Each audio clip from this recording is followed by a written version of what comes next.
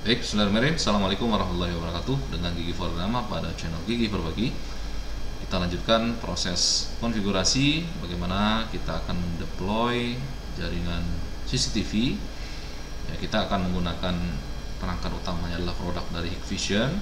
Pada video sebelumnya saya sudah membuat video unboxing dari produk NVR-nya, kemudian ada produk uh, CCTV baik itu indoor maupun outdoor dan sekarang kita masuk ke bagian bagaimana melakukan proses konfigurasi dari uh, CCTV dan akan terhubung ke NVR. Tapi sebelumnya kita akan melakukan setup standalone terlebih dahulu ya, proses setup standalone yang akan kita lakukan untuk proses uh, kamera indoor jenis indoor tipe dome ini dan tipe uh, outdoor ya, indoor tipe balet seperti ini ya yang perlu anda siapkan adalah uh, switch yang sudah support PoE nah, ini saya sudah mengguna, menggunakan ya. Di sini sudah ada switch yang sudah support PoE nah, kabelnya seperti ini. Ini kabelnya lah cat 6 ya cat 6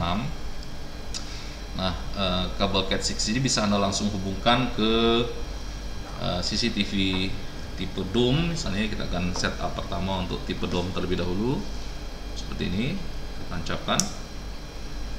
Ya, Anda bisa melihat uh, kamera tipe nya sudah menyala ya, ini sudah hidup.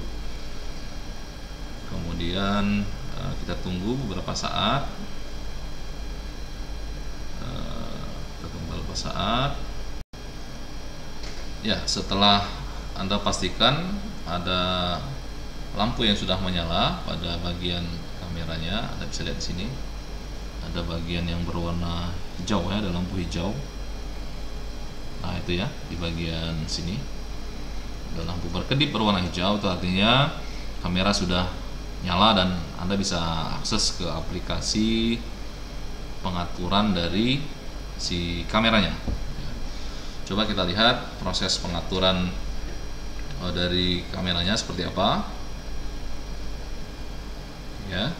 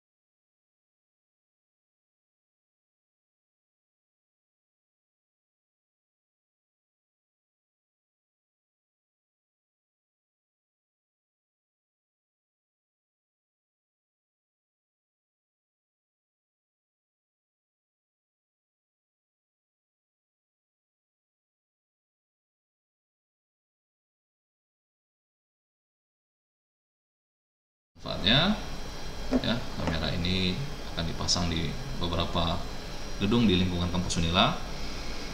Mudah-mudahan lancar ya. Mudah-mudahan manfaatnya. Assalamualaikum warahmatullahi wabarakatuh